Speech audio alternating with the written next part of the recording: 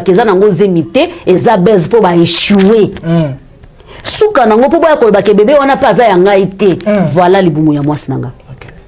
mpo ayebaki déjà ke batikali kaka na mikolo mibale mpo asa nini abota niveau ya ndeko na biso karine aza star aza mo likolo hmm. il fallait alakisa mpo banguna na ye baloba wi hmm. so karine atomboli ka boye hmm. tokomi ka na nzembo toyemba na eglize na nga bakobela avc wa soki kaka bebe wana balobi keno bebe ya karine yeyo abotami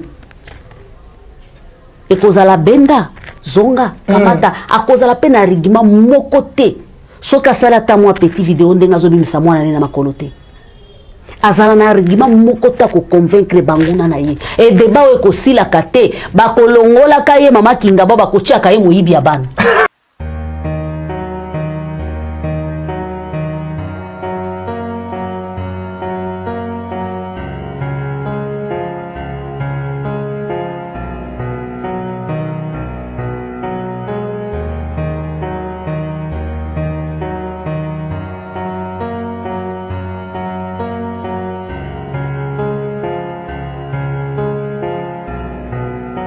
Voilà, bonjour tout le monde, bonjour euh, chers internautes, vous qui nous suivez sur Congo Télévision, c'est bien moi, le votre Kevin Mohamed Saïdi, ça a toujours été un vrai plaisir pour moi de vous savoir tellement de qui nous suivent en ce moment. Merci à nos fidèles partenaires, merci à Masolo banakin merci également à Réseau Sans Fil et pourquoi pas dire aussi un grand merci AG News des Stars Congolais, c'est une page qui a beaucoup contribué euh, la carrière nanga et surtout koloba na évolution ya mosala oyo tosalaka lelo et pourquoi pas na kobosana te buzoba ya bana kin parce que wana eza mpenza bandeko ya biso ya motema bapage oyo ya biso ya motema nde basudenaka mosala oyo déjà mpo na kobanda émission nakoki kobanda boye te sans pour autant dire un grand merci à boss jerès mboni depuis les usa merci également à romeo muchani oyo aza na biso lelo mpo na émission ya lelo et sans oublier Euh, mon vieux Marley Matumona, mon vieux Pichungi Tuka na Paris et bandeko baza ebele pour ne pas na kende peza mulayi parce que tout ça on a début émission bandeko bayaka na bango toujours après malandisi o oh, tout ça la awa déjà comme annonce tout ça l'émission moi vous allez vraiment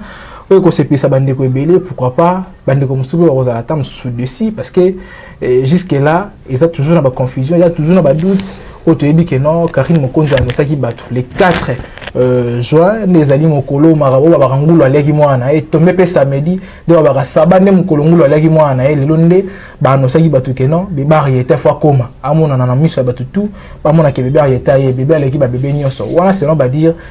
ya Karine Mokonzi. Et pourquoi pas kolobela pe oyo ezali masolo oyo ndeko na biso nene ya kelekelo aza kobimisela biso lelo entre Koffi Olomide na Mege 30 oyo azali deja moko ya bandeko ya bongola na ye motema e lelo oyo akomi kosalela nkolo me ko ezali mabomba mito révélation ebimi na kati ya masolo oyo vraiment ça fait tellement mal et pourquoi pas kokota na basujet divers parce que naza na moko ya bamama moko ya ba grande sœur moko ya ba aîné oyo alobaka bien surtout bandeko ntango bakomona ye na caméra bakozala vraiment emi ya komona ye moko na lelo toza na mama judith kalenga kalanga donc euh, toza na awa déjà comme invité euh, romeo motiani pour ne pas monopoliser ma parole nazwaka déjà invité na nga bonjour mama judith ah, bonjour ya kevin benga nga jika de la presse esala nga bien makasi parce que yango nde evimbisa nga napesi babone na biso ya congo source télévision congo source télévision mbote na bino vraiment en passant nayebisi bavrai vrai ya jika bo s'abonner na Congo ba étoile na nga bo s'abonner na Congo Source Énergie TV. TV merci beaucoup bo s'abonner c'est JK mama bana ebele ya bale kebele bo zwa nga kana ba forme nyonso bo linga na pesi ba vrai vrai na nga nyonso boza tellement ebele tine vrai vrai mm. losako na bino bisika boza baya JK mm. bokobenga butu na moi rien à dire bosala nga nazala ata na bacommentaire na bino ata na ba message na bino esala nga toujours na vimba na koma munene merci beaucoup ava to bande émission to kosenga bolimbisi soki to koloba mabe bolimbisa po toza bato ya mokili soki to koloba malamu bo témoigner yango na ba commentaire merci beaucoup vraiment maman Judith je mm. crois ba ndeko ba yebi yo surtout déjà lelo to loba que non mm. oza so elongi ya kobunga na te eza que non elongi ba ndeko ba apprécier mingi ba talona ba intervention ebele et lelo gagner moins popularité moko bona kati ya monde internet sans kofinga sans polémique déjà c'est une bonne chose de pour la marambo déjà bonne évolution musala eh musala kitoko musala kitoko eh er eh, moko boye bandeko bakoma odéclare ndako namelaka miliki te tellement naza tout le temps na micro bandeko bakoma odéclare que non faut tika plateau boye oh. tolembi boye na boye bakomobengana nga ah. eh, bakomobengana nga naluka place na koyambela bato na ngai mm. loba baye mpo ezalaka heure mosusu baza wana ata 3 ata 4 bazoza évolution ya mosala ezokende bie kaka ndenge yo moko olobi mm -hmm. nafungola chaîne na nga nabandaka nango famille tv news okay. c'était une façon ya kopesa conseil mhm. bien sûr bato bazangaka te baoyo bamemaka libanga na vie ya motu moto moko ayebisi ngai ke omoni ndenge youtube ezokende bien sûr kaka baconseil na ngai wana mhm. babato bakondolanda nga nazalaki déjà na mwa quelque bato parce que ngai nabimi nulle part oyo te nazalaki attaché de presse ya musicien moko boye te mhm. nabimi na tv ando nabimi nano na bureau mpo naya na tv ya tnt kobima na tv ya tnt mbala moko na youtube do nayebani te nauti nil part balobaka nzambe alola ayeba osala destin na ye ndenge alingi soki alobi ke oza na étoile na yo yaya oza na besoin ya koforce te wana besoin bake sukolo te wana besoin kesala eloko moko te donc maloba na yo parfois je demande na baleki na nga maloba nini oyo nga nalobaka oyo bato bamona yango spécial koleka eloko te mhm. donc ye moko kaka nde asala bongo na bima bongo un certain moment bato bayebisa nga ketiango mix hein? kotango mix esalema mhm. mais identité na nga ezalaka kaka mwa ata napesi analyse suka mwa conseil ezalaka parce que nabandaka na conseil ah, nayomona hmm, bayebeli ngai na jika okay. jika wana ezalaka judith kalanga okay. nazwaka jika ya liboso na ka oyo ya, ya liboso nasangisi yango epesi ngai jika mhm. donc yango epesi nga makambo lelo mosala na nga ezokende bien sans kofinga sans eloko uh mhm. -huh. toujours motu likolo elongo na yesu masiya nazareth vraiment elongo na yesu masiya mm. déjà lelo so tolobaki non mama judith aza motu oyo avivre lelo bolamu ya nzambe epuis tolobaki non eza na bandeko mosusu mpe lelo na internet bazovivre bolamu na nzambe ndeti la il faut tobanda na debut karine mokonzi mwasi oyo batraite na bakombo tout mwasi oyo baloba okoki koloba e lelo anosaki biso lelo nde le 4 mokolo anosaki ke non bebe arieta azoya bebe aleki babebe nyonso na internet bon nayebi te ngai nakotelema mpena esika te bebe aleki babebe nyonso mais déjà koyoka ndeko koloba ke non bebe azoya epuis azobeta milolo surtout lelo akomi kotémoigne monene ya nzambe déjà de ton côté ezosala ndenge merci beaucoup en tant que numère parce que moi je suis numère deux fois mm -hmm. eh, ma grande fille malgré nabota mwana moke mm -hmm. na age ya 22 ans j'ai déjà une fille Honoré.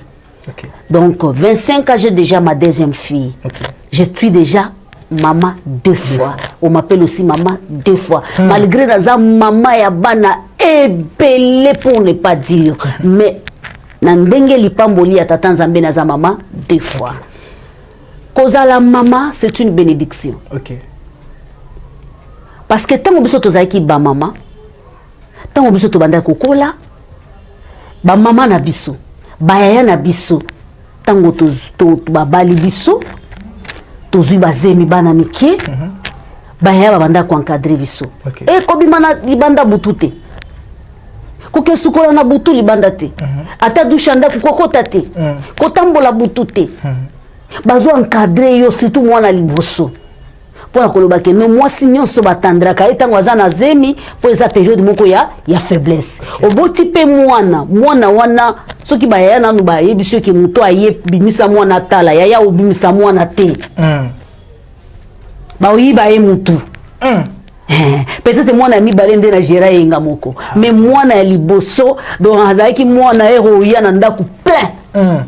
bato plein na ndako donc mwana wana abimaka te soki aleli omona yeye ya liboso akoti papapapapapa ye akomelisa mwana bato baza tomona mpe ata mwana yango te bomona ye te liki liki do te okay. ezalaki faso bango mpe baprandaki bango mhm. siko toyei kokuta na mboka bana na bana mhm. balobi mpo toencadre liki na biso biso mpe tomema oyo mpe bakolo na biso baenseigne biso okay. merci beaucoup mpo na répondre na motuna ya ndeko na biso karine mokonzi ampasa nalingaka ye makasi nalingaka ye nononono nazalaka hypocrite te nalingaka karine mokonzi eh, courage na ye kaka okay. esalaka nga babien courage na ye kaka esalaka nga ke eza na basi mosusu babima nil part nzambe atombola bango à travers eh, courage na bango bapasola nzela na esobe mm. omoni desert babimisa mai ya lokwa bakarine mokonzi bazala ebele okay. me bao batombola mitu babima aza bazali epuis aza source ya kobota bato lelo babima bato ya malonga prevane balekechu prevane baleneya Prévane ba Grace Tembo. Mm -hmm. Grace Tembo akomi ko représenter hein ba ba, ba produit, akomi représenter akomi ambassa, ambassadrice ya mm -hmm. produit moko boye, mm -hmm. c'est alekaki na nzela ya Karine Mokonzi. na ndenge ya mabe to na ndenge ya malamu parce que bazoloba publicité nyonso ezala malamu mm -hmm. moto mosusu akoleka fingi nga pas possible eh, nayoka nanu keva azofinga nani Judith Kalanga hmm. Judith Kalanga na beta nanu na YouTube okay. beti na YouTube okoti eh ye yo tika nalanda nayo bamission na ye ozalaki ya kosabone te osabone parce que oyokaki baofinga nga quelque part olobi te zela nano seke ye mpe aza moto ya bapolemike surtout bato balinga bapolemike nalandelaka guerre yango seke ye mpe aoya ofinga hmm.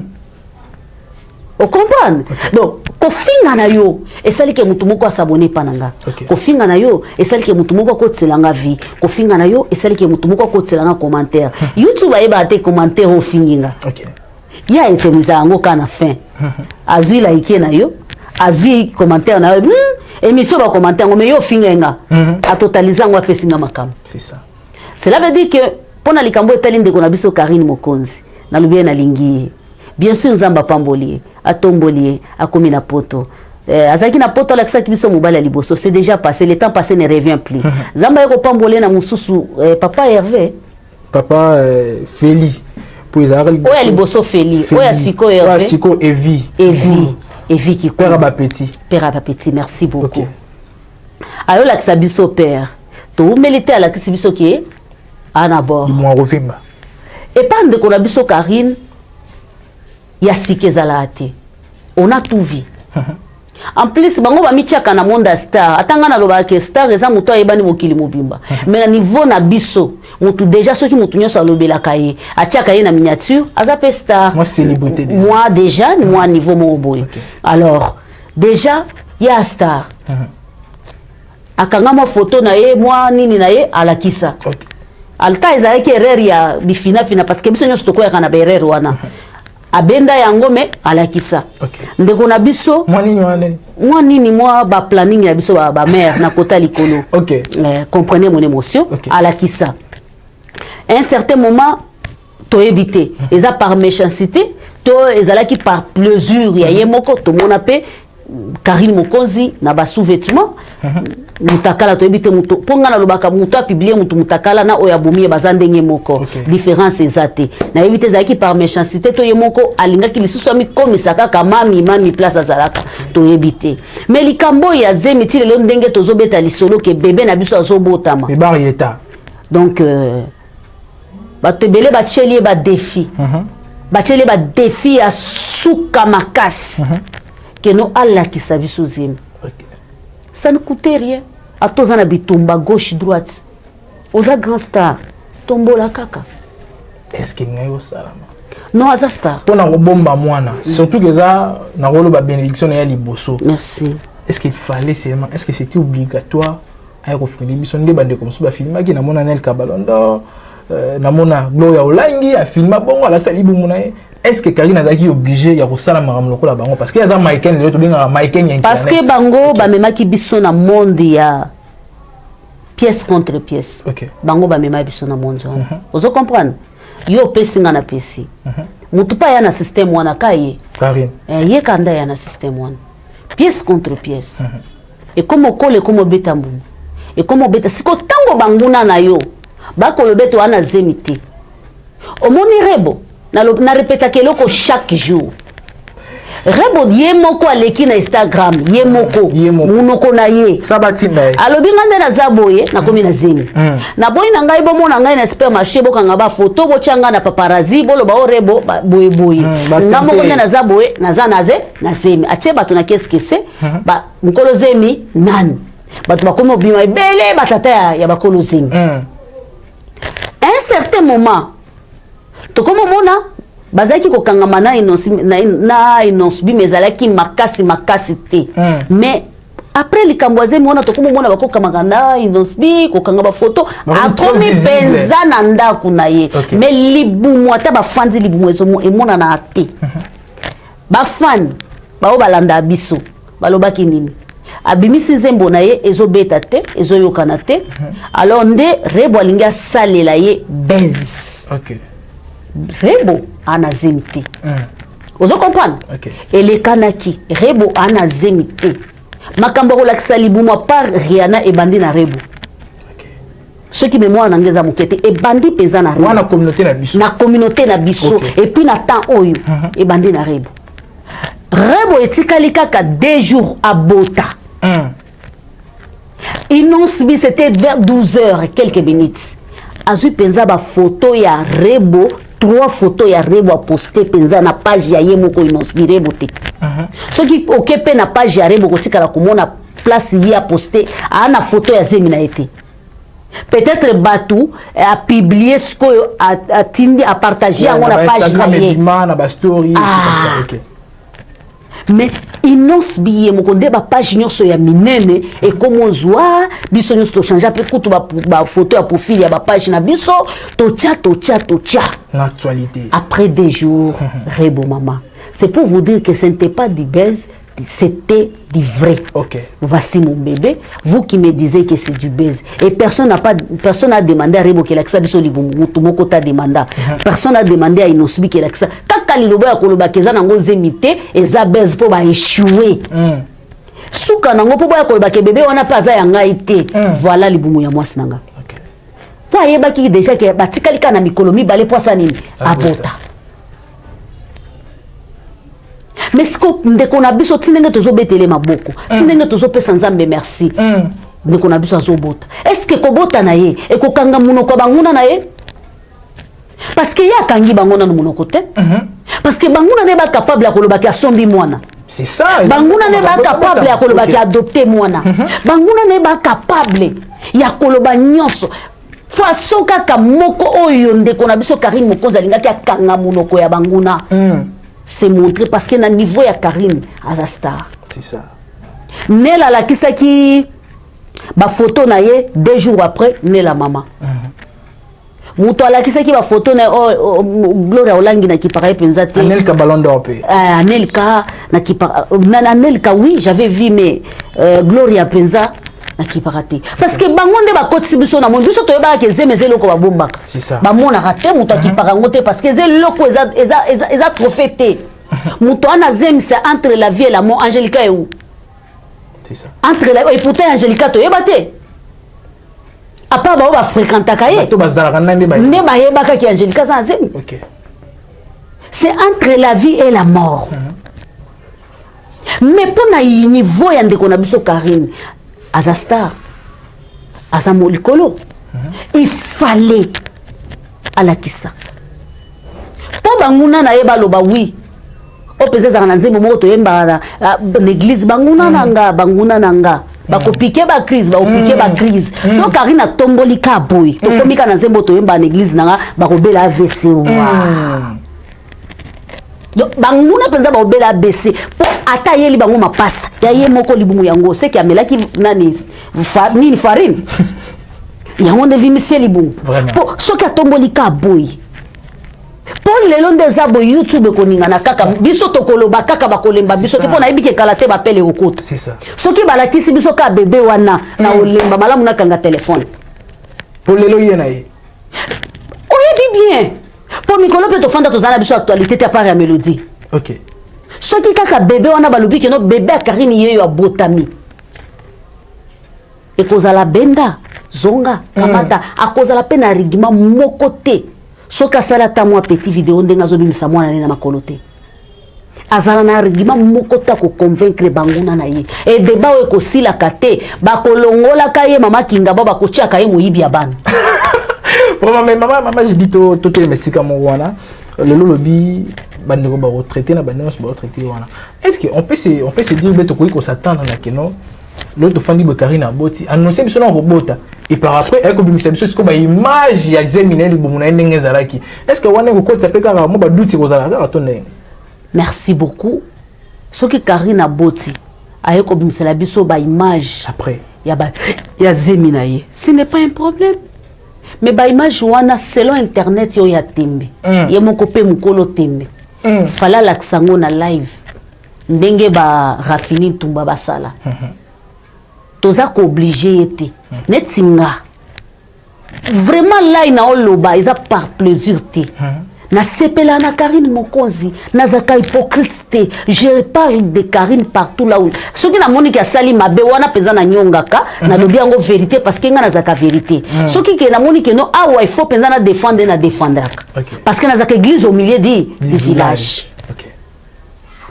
mais problème eza que il fallait ayokisa biso te biso tokotalaka hmm. tokozimele parce que jour ata moko te omona ngai nasali direct nabanda kodemare karine ke karine anazemi te te hmm. naza nzambe te naza nzambe te naza nzambe te soki mwasi ya 49 aboti bongo karine okay. epuis ngai nani mpo na détermine akolakisa lelo libumu banguna balobi eza montage tout est possible okay. mpo basengaka ye kaka alakisa kaka boye na live yango nalobi le seul moyen akobota bebe wana lelo hmm. le seul moyen ezali ya ntango mosusu ere azobota bazozwa kaka image bazwi mpe na image ya mamakarinamupusaishala bazwi kaka kote elongi na bastar c'est possible yaya uh -huh. tomona fi moko kora aza nigeria aza na états-unis uh -huh. na ndenge na ndenge azobanda douleur na ye na ndenge azobanda douleur na ye na ndenge batye ye na bassin na bango wana okay. na ndenge firme azali azotourne ye mm. na ndenge bebe azobima mm. bato baomona yango na live live ebeta 5 million okay. live kora wana nde naoloba boye bato balandaka kora bayebi aza danseuse okay. tomona yango aa na bebe na maboko so ya de mois mhm. eza evenema esalemi kala te mhm. tomona yango mhm. zemi yango kutu na ndenge ekoti na libumu na zero, zero jour mm. na ndenge eye kobima live biso tovivra zemi ya kora wana mobimba ndeko na biso bien sur aza na banguna partout me banguna wana bakokanga minoko te bakofanda kimia te epuis okozalaka kimia te na bebe na yo parce que dans ce monde ici tout est possible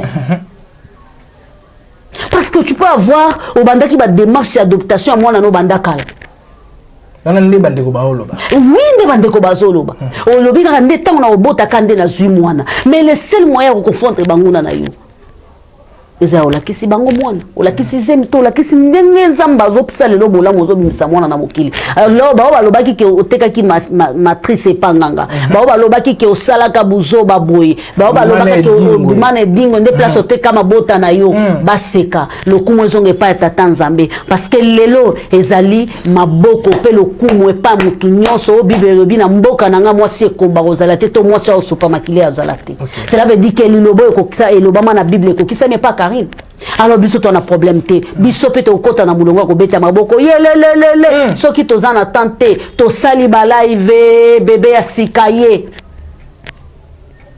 me sikoyo mhm. soki tosali bongo te tokolamusa na bawei baoyo balobaka lisu te tokolamusa na batantini vete batika na bango makambo tokolamusa na bato nyonso baboya na bango makambo ya karine tokozongisa bango na actualité parce que bakozwa argument mhm. bien sûr bato bakoba kouta de part et de d'autre baye mpo na koyamba bebe ya, ya sika bebe ya makambo bebe miracle namoni yabe nayebisi yo baza ebele tout ça ce n'est pas, ce n'est pas un problème mais bakoaccompagne ndeko na biso na maternité te bango bakozela est ce que ndeko na biso akobotela na ndako to bakozela bebe ntango akoya na ndako ah, ntango est ce que bakokende koaccompagne na hôpital mais une question aussi ma judith nayebi ke non tant karine asalaka video bato nyonso bamonaka eh, babike non alati ali express balobaloba bakoki koloba wana Déjà, bandeko babaki alata ya kolata mais ntango tomona babibi kapinga bayabe bato baosala badéplacement mpo nayo akuta na karine surtout moto ya rapproche ya karine makasi eza as luzolo bandeko wana basala balive te babike karine aka na zemi ya lokuta nayebi te soki deja komona boye eloko ezaka lokuta emonanaka chéri okay. omoni motu soki aza nanu na yo mm -hmm.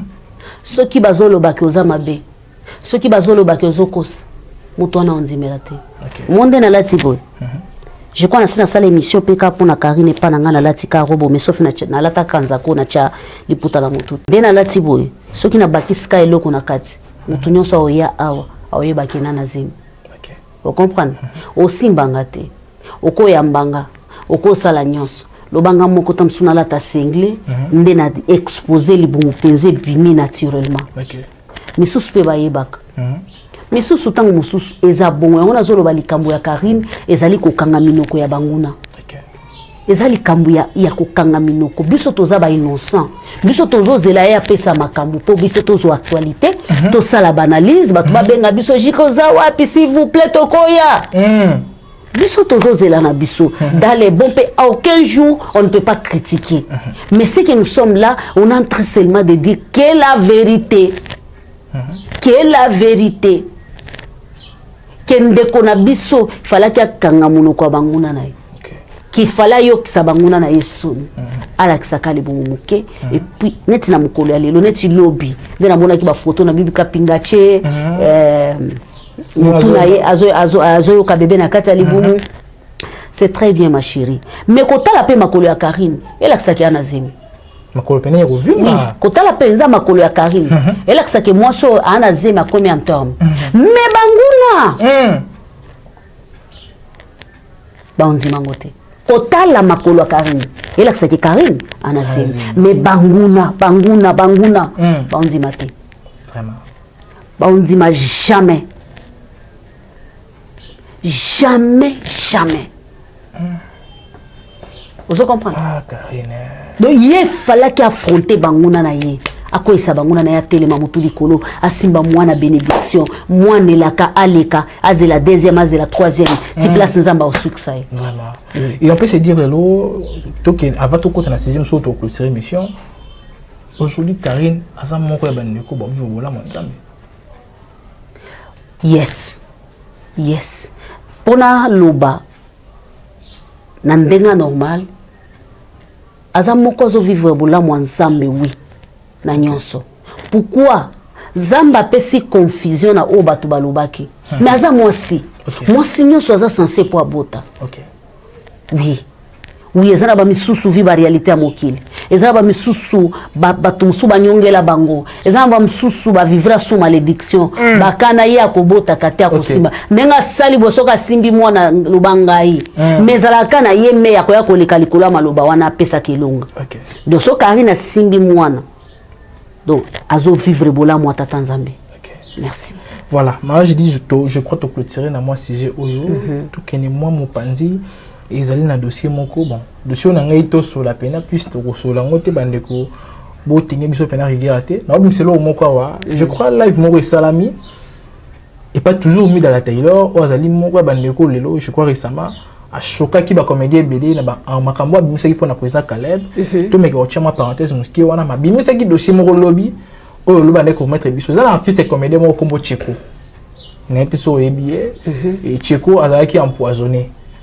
et par rapport ya poison na ye babetaki masolo ke no poison na ye wana mida moto azobeta mm -hmm. moto aza la base ya poison na ye eza mbanda na ye embanda na ye yango ezali mm -hmm. eh, mobali ya ndeko na ye collègue na ye to mpe nakoki koloba concert na ye eh, rosine mutiopi ye baza comédienne nde empoisonne ye mais na libsolo yango ndenge ebandaki ndenge abandaki kobeta na suka nango ezalaki ndenge ezalaki makambo ezalaki vrai apesi yango na forme ke ndeko wana cheko akangamaka na bandeko ya rosine wana natika mwa kidiba trop odon bamibali na mibali mibali na mibali nde mobali moko asali baempoisonne mobali moko bawelelaka mwasi rosine mochopi nde adecortike lisolo yango nayebi te esalamaka ndenge nini moto afandi mosika oyo amonisaka elongi te na émission maye kobimisa makambo oyo nayebi te soki eza vrai to fausse mais ntango ozokende na réputation ya bato esalaka yo ndenge nini merci beaucoup ma, eh, mon frère plutôt na mesani na bamachérie merci beaucoup mon frère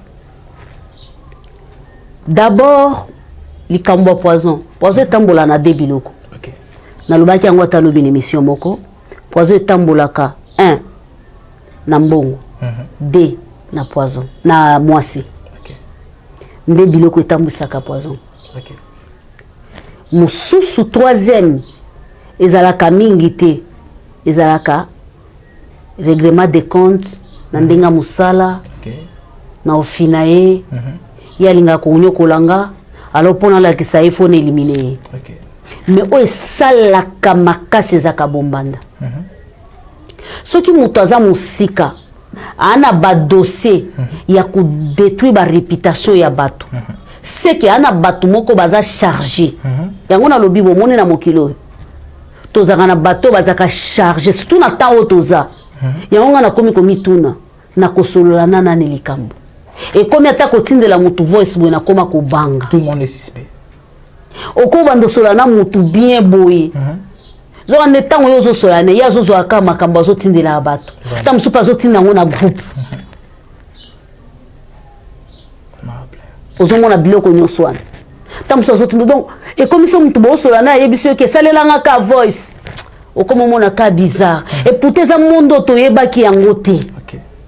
monde ya trahison monde ya makambo mabe monde ya humiliation monde ya sabotage osali eloko te babambi yo nkombo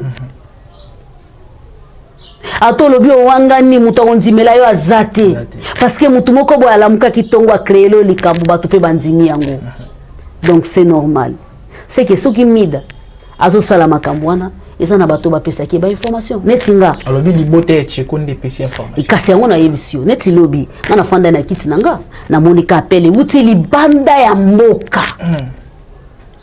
tomonaka yo bato balandaka yo epo olobaka bien toopesa matière hmm. zwa zwa zwa zwa na badate hmm. na baheure zwa natali ce n'est pas important nalobela yango ye aza na poto alingaki alobela yango eza avantage ngai nakoya olobela boye est ce que ça ne me regarde même na badate na baheure na bangonga na ba 1900 et quelque mm.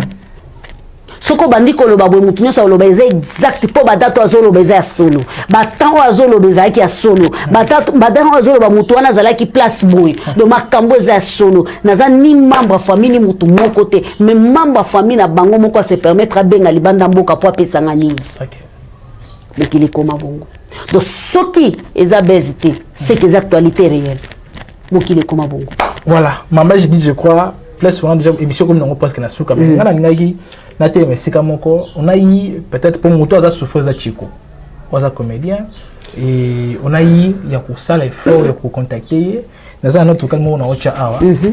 ndeko adementir yango alobi atikala kozala na relation amoureuse na ndeko na biso rosine mutiopi te ata mokolo moko te je crois na note vocale eza awa mhm. tya balandi balandi okay. merci ndeko nanga baga na septième atindikaki ndeko septième Hmm. atindaka yango mpo ola nano bafi ya poto bozoba émission soki ezwi soki deux heures du temps mpona kocreye buzz moko ya bozoba oyo ezanga motuna makolo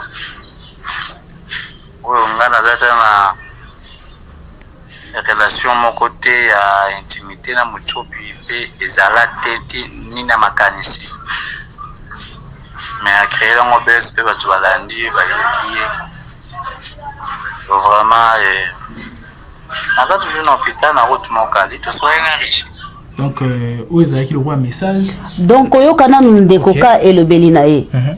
bon balobaka ke l'apparence est trompeuse uh mhm. -huh. ana bavoi ya ba ya ba double sim te okay. ape na bavoi bon toyebi te parce que mikolo eza kaka tolali tolamuki ndeko na biso mida est ce que asatiki makambo ya papa na biso kalebe asipleme eh, président kalebe ana bavideo wana ti lelo ozomona mhm. tala na lelo oko ya bongo mhm. etamboli partout mhm. eza nini nde esimbaki ye qu'est-ce qui se passe bato batya yoka oloba to ndenge nini eputa eza na cadre ya bongo te ekomi kosalema na cadre ya haine ekomi osalema na cadre ya kodétruire mhm. ekomi osalema na cadre ya kobebisa c'est tout ce que je peux dire vraiment je crois enclore pour cette émission nayebi te mama judith bandeko mingi bangaka koyoka oma baconseil to mpe liloba oyo koopesa surtout na ba chinois na ba chinois zo ba ozela bebe en retard et plus mpe mpona bandeko basi oyo balandi biso merci beaucoup mpona bachinois bazela bebe na bango na maboko mibale mhm. parce que bachinois nde oyo tobengaka ba vrai vrai mm. donc dans les bon dans les mal batika kotika karine mokonzi te okay. kende ndambo bakebo un certain moment bazongi mm. bazala wana nde baoyo nga nabengaka ba vrai vrai baetoile Mm. donc bazala wana baza bavrai eza bavrai mosusu bayaka bainfiltre mm -hmm. aye kaka un certain moment azali souvrai na yo te mm -hmm. un certain moment akomi papier hygiénique okay. un certain moment akomi kotrahir yo mm -hmm. conseil moko na kopesa na bato bazolanda biso bandeko mokili ekomi na suka mm -hmm. moye mpe totika mosala oyo eza te toza sense ya kokontinue nango mais croyez moi Jouer na image ya moto oyebi. Omoni moto oyo oyebi bien. Soki baye koyebiso likambo na ye. Soki okonsideraka ye. Kobakisa 1 te, kobakisa 2 te. Benga ye. Okay. Nayoki likambo na yo. pourquoi yoka yo ya koloba compare na oyo ba nzambe apesa biso basagesse compare na oyo balobaki mpo na ye estce eza ndenge motu mpe ayaki oyebisa nga estce ye mpe abakisaki te ekosala bien soki lelo na monde ya presse soki lelo na monde ya théâtre soki lelo na monde ya vie quotidien bolingo ya solo eza lisusu te ezaka mpona eloko oyo Bokozala bandeko mibale misato botambolaka esika moko. Ndeko moko akouta ka nil part. Akoya. Ayo créer trouble moko na les ont dit, les ont fait, les ont parlé. Bato bakobeta tolo ya poison bien sûr ça poison eza. Mais attention. Poison eza na ba dimension tozolobela te. Mhm. Soki okomi kotia mutu na yo na poison, se kolingaki mwasi ya bato. Seke obotolaki mbongo ya bato. Mhm. Seke. Mm -hmm. wana eloko moko quelque part kanga kalanga boye nafinga mutu te nazala église au milieu du village olali olamuki otyeli nga poison yaya génération ya génération mm. okozalaka na kimia te conseil nakopesa bino mindimela yo moko mm. jika aza wana mpo na motu nyonso olingi okontakte nga eh, olingi to solola to tosala analyse je suis là ocontacte napesaka numero na nga boye te mhm. contacte kevin keva akobenga nga soki nalobi ke iyo opesa numero mhm. apesi soki nalobi ke te te kopesa te akopesa naloba mpe te pourquoi parce que nalobi naza mama bana ebele nakoloba me ntango obengi yebaki nabengi mpo na soutenir jika mhm. nabengi soit mpo nayebisa ke madame osalaki émission bien nabengi soit mpo na encourage ke place wana olobaki mabe oyebaki information bien te ifalaki oloba boye esili mais mpo na banimero nango olingi ozwa yango contacte kevin place nyonso nalekaka ezalaka rare napesa nimero na nga merci beaucoup voilà maman judith keke salutation na bavrai vrai na nga baetoile ya jika télévision équipe na nga mobimba ya jika télévision aurélie vangu fabrice mande disila son anniversaire eh, feli mwamba bavrai na nga hmm. bavrai ya judith kalanga boza ebele tim vrai vrai je hmm. vous salie merci beaucoup voilà ndenge lelo likasi eke molai mpena te soki olandi ngai napesa bambote te ah. eh, soki ata epai na ngai nakopesa mibale misato papa joseph magloire na allemagne losako na yo napesaka badedikasi ebele te vraiment omoi kobosani papa joseph na allemagne vraiment merci so nazongaki wana te tango tozonga c'est ça même vraiment déjà je vous dis un grand merci mpona kondima surtout invitation na ngai non c'est la famille rien à dire vraiment ah. voilà c'était là maman Judith Kalanga tosali émission moko kitoko je crois eh, eza mpona émission moko mpona kolese to ndeko moko te to mpe ka moko te mais eza plus émission moko tosala tozalaki naître oyo tolobeli plus makambo ya karine mokonzi et pourquoi pas kolobela oyo ezali eh, makambo ozo se passer lo na internet ba youtubese parce que ya ya une différence entre journaliste chroniqueur chroniqueuse et puis ba youtubese eza na bandeko baya na boka mpona kofinga eza mpe na bandeko bazalaka wana mpona koluka mwa belema azobunda mpe na moi bango nde bachronikia eza mpe na bandeko baobunda pene na bandenge moko e, bazosala baeffort bazofournir baeffort déjà ntango ndeko ozosala baémission omonisaka elongi te nga mpe nayebi elongi te mais ntango ozoya kosalir bandeko baza bapersonnalité publique surtout bandeko bazohonore culture na biso vraiment ezosala vraiment pasi mingi déjà merci na bandeko nyonso balandaki biso du début à la fin ba vrai vrai bango wana bato balandaka pena ebandeli ti suka ayoka pena bakoloba nini Je vous salue et merci aussi à Romeo Mouchani Azaki Nabiso Lelo derrière la caméra. Et je vous dis aussi un grand merci de Boss de Boss, je reste Mboni depuis les ISA. Et sans oublier euh, mon vieux Dachumba Nzete Alipela Papa Namelina et Nabosa Narate vous dit Kabwiku na London et mon vieux Pichungi Tuka, un plus un na Paris, déjà na kati ya Paris. Et merci aussi à mon vieux Marley Matumona, na kati ya Allemagne wana, et plutôt na London wana, Maison Lily. Et merci aussi à les vieux Roda Cisco, ba vieux baza ebele, Jojo Ngonda Imen, bourgeois humble, bandeko baza ebele, parce que na ramusala, oh, pour ne pas na kende na bango tout, toza vraiment bon moko, et puis nzamba zo songa, to kende, toujours na musala, on est au mesana ko kende, balobi, soki nzamba sali, nani akolongola soki nzambe apesi nani akoboya vraiment toza wana mpona kosala mosala biso na bino tokabwani tokomonana mbala nsima avec nouveau numéro d'ici là portez vous bien babaye